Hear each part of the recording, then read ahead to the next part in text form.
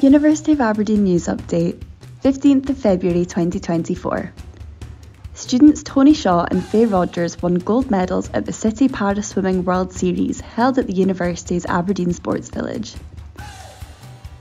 Biotalys, an agricultural technology company, has entered into an academic collaboration with leading researchers in plant pathology at the university. The crews for the Aberdeen boat race, taking place on the 24th of February, have been announced, the university will take on RGU in the 29th annual race.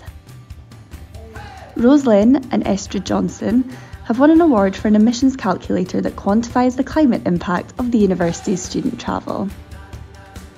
And Striking Impressions, a new exhibition at the Sir Duncan Rice Library exploring how we read faces, opened on the 14th of February. For more, visit abdn.ac.uk/news.